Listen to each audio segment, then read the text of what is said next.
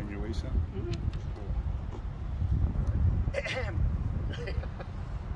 well, this is, uh, yeah, it's been a long time. This bottle has aged very well on my desk for the last five and a half years, and it was on the mayor, I think it was on Mayor Brooker's desk prior to that, and maybe even a mayor's before that.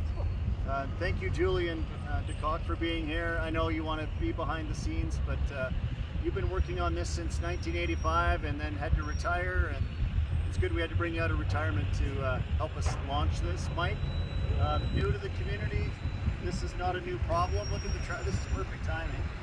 Um, but uh, I've told this story a few times. I believe it was uh, the year we hosted a, uh, an Olympics in Calgary was when we started talking about the 1A22 for the first time. My parents who are here, thank you, um, lived just up the road and relocated out of Cochrane at that time in 1988 because the 1A22 interchange was going to start imminently. So uh, here we are, 35 plus, 37 years later, um, and this is an exciting day. And I'm glad, thank you guys for being here. Um, we just happen to be the council that gets to be in the chairs when the province does their big thing behind us. But this couldn't go uncelebrated. We had to do a few minutes here and kick this off in style. So just want to say thank you to Alberta Transportation. Um, thank you to our staff and administration, Mike, representing uh, ELT today, for all of the work behind the scenes that makes a complex project like this get underway. And it's not just about traffic. As we can see, we have trains, uh, pedestrian traffic. We're going underneath the, the 1A here. We'll have a new connection here with the bridge for our three-meter convoy. Of course, all the interchange behind us is going to significantly change and impact how traffic flows through our community. And thank you to everyone who had a hand in it, present, past, and future. So uh, that's a just an amazing feat finally to be at this this juncture.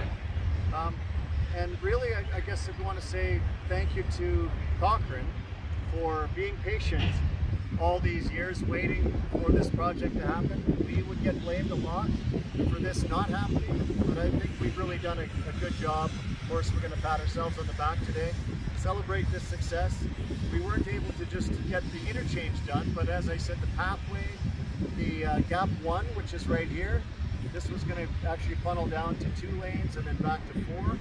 We convinced the province to get that in this this project, which was at that time 10 more million dollars uh, prior to inflation, and then gap two, going up to sunset. We were able to convince the province to include that in this project. Another 10 million dollars prior to inflation. So uh, this was a really big deal. So thanks to everyone uh, for being here. I think we want to shoot some confetti cannons off, and then we'll pop this.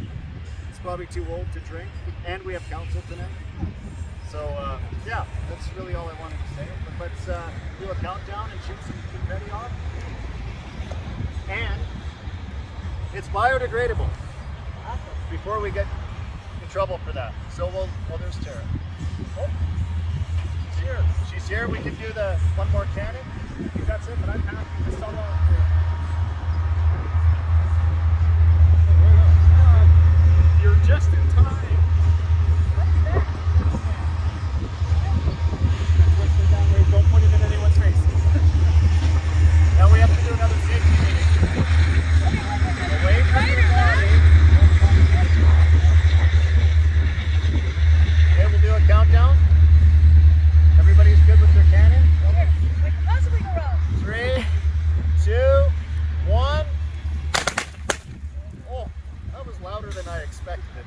cool.